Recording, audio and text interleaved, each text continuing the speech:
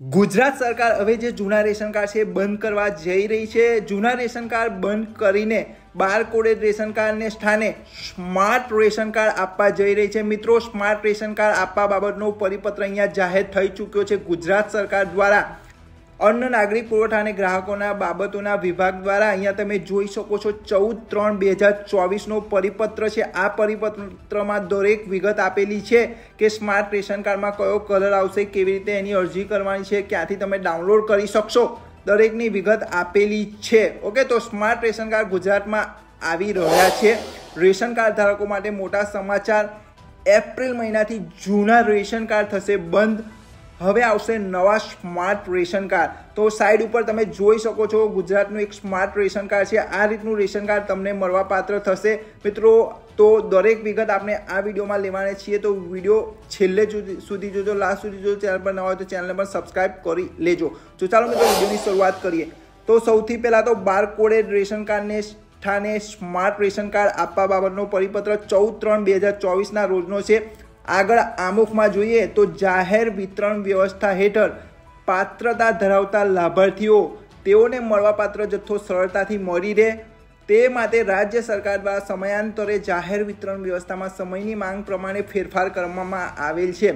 જેના ભાગરૂપે રાજ્યના નાગરિકોને ડિજિટેટાઇઝ રેશન કાર્ડ આપવાની જરૂરિયાત જણાયેલ છે. ડિજિટાઇઝ રેશન કાર્ડ એટલે કે સ્માર્ટ રેશન કાર્ડ. ટકાઉ હોવાથી તેને લાંબા સમય સુધી સાચવી શકાશે.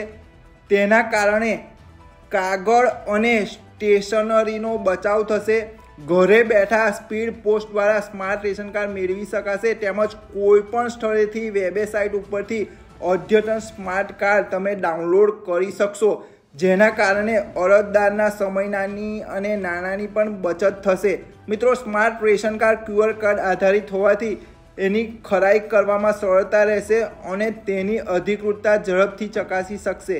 જે ધ્યાને લઈ રેશન કાર્ડના ફોર્મેટમાં સુધારો કરી બારકોડેડ રેશન કાર્ડની સ્થાને સ્માર્ટ રેશન કાર્ડ ઇસ્યુ કરવાની સરકારશ્રીની વિચારણા હેઠળ હતું. તો મિત્રો જે સ્માર્ટ રેશન કાર્ડ માટેની ઘણા વર્ષોથી સરકારની વિચારણા હતી, ગુજરાત સરકારની તો એ સરકારે જે વિચારણા કરી તે એપ્રિલ મહિનાથી લાગુ કરી દેવામાં આવશે. મિત્રો, આ પરિપત્રમાં એની તારીખ પણ આપેલી છે. આ રીતે તમને સ્માર્ટ કાર્ડ આપવામાં આવશે. તમે અહીંયા સાઇટ પર જોઈ શકો છો, એ સ્માર્ટ કાર્ડ આવશે. ઓકે?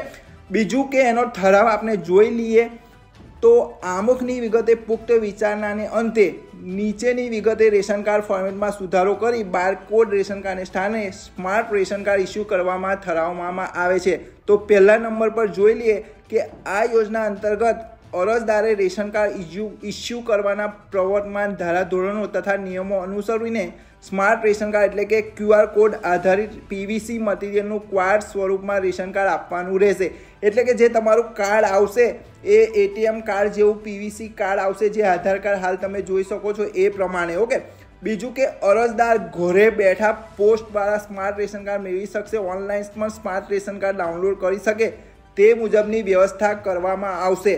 તો મિત્રો, તમે ઓનલાઈન પણ ગમે ત્યાંથી તમે રેશન કાર્ડ ડાઉનલોડ કરી શકશો, જોઈ શકશો, એના માટે અલગ સાઇટ પણ મૂકવામાં આવશે.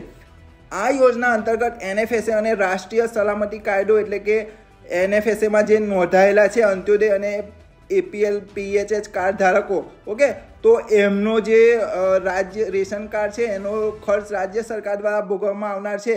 જ્યારે જે એમને અનાજ મળતું નથી નોન એનએફએસએ કાર્ડ છે, એમને પચાસ રૂપિયા ફી ચૂકવવી પડશે. તો મિત્રો, જેમને હાલ અનાજ મળી રહ્યું છે, એવા કાર્ડ ધારકોને બિલકુલ ફ્રીમાં સરકાર દ્વારા આ કાર્ડ કાઢી આપવામાં આવશે. અને જેમને અનાજ મળતું ના હોય નોન એનએફએસએ કાર્ડ હોય, એમને પચાસ રૂપિયાની ફી ચૂકવી અને કાર્ડ લેવું પડશે. ઓકે? હવે નેક્સ્ટ જોઈએ કે ચોથા નંબર પર રેશન કાર્ડની કેટેગરી પ્રમાણે નીચે દર્શાવેલ રંગના રેશન કાર્ડ નિયત કરેલ નમૂનામાં આપવાના રહેશે. તો મિત્રો, અલગ અલગ કાર્ડ હોય તો રંગ પણ એના અલગ અલગ હશે.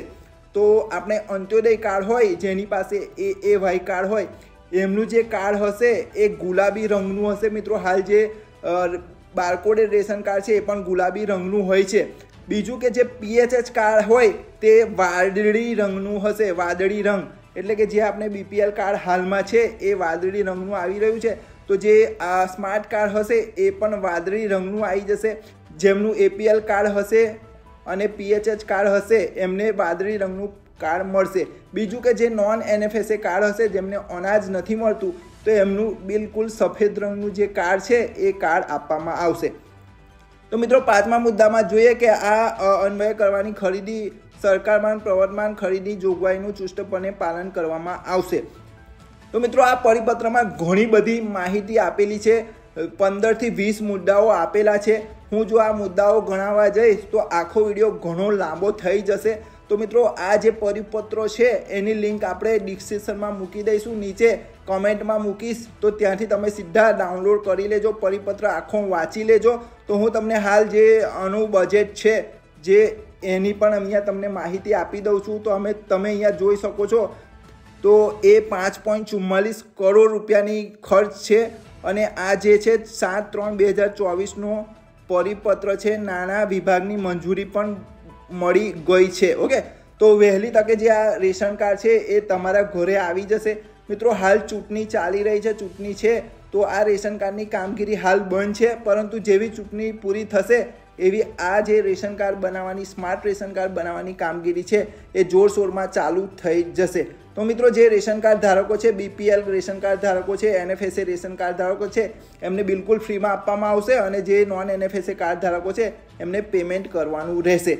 તો મિત્રો, આશા રાખું છું વીડિયો ગમ્યો હશે. વીડિયો ગમ્યો હોય તો વિડીયોને લાઇક કરજો, શેર કરજો મિત્રો, અને રેશન કાર્ડને લગતી દરેક માહિતી અને આ રેશન કાર્ડ જે આવવાનું છે, એની પણ માહિતી આપણે અગાઉના વિડીયોમાં મૂકીશું કે કેવી રીતે તમે ડાઉનલોડ કરી શકશો. તો દરેક માહિતી જોવા માટે આપણી ચેનલને સબસ્ક્રાઈબ કરી લેજો. તો બસ મિત્રો, મળીશું નવા વિડીયોમાં નવી ઇન્ફોર્મેશન સાથે. ત્યાં સુધી રજા આપજો. જય હિન્દ, જય ભારત.